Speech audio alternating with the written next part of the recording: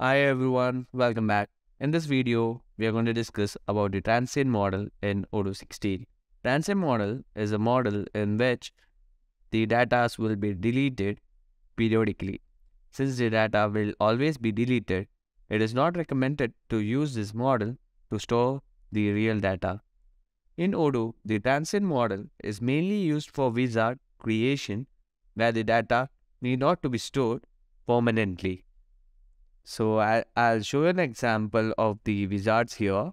That is, if you go to the CRM module, you have the example for the wizard and this is the wizard as you can see here in the UI and you can see multiple fields that is defined inside the uh, wizard and here these data is not necessary to be stored permanently in the database so we use for the creation of wizard the transient model. So the data will be periodically vacuumed.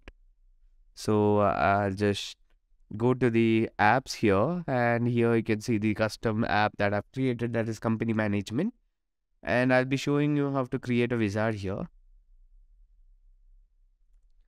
And going to the py page here this is the wizard directory so I have created a directory under my custom module that is the company management.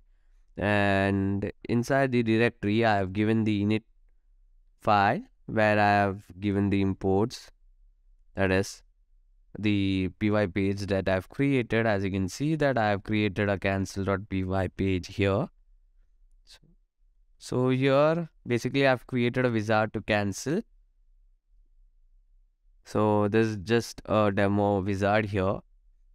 And after giving the wizard I have given the class I have defined the class here. I have given the name of the wizard that is the cancel wizard and I have given the field here. As you can see I have defined the field inside the wizard.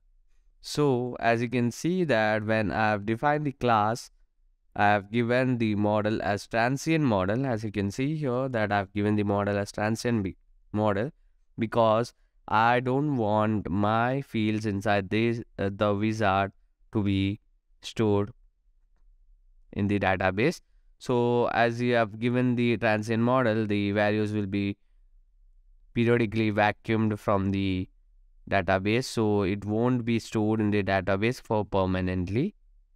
And as you can go to the securities here, if I go to the securities, you can see that I have given the access right for the wizard here. So I have given the name of the model here, that is cancel wizard, that I have defined inside the py page of my wizard. So after giving it as the transient model, as I've created a new wizard here and I've given the transient model. So let me run it and after running it, I'll just upgrade it.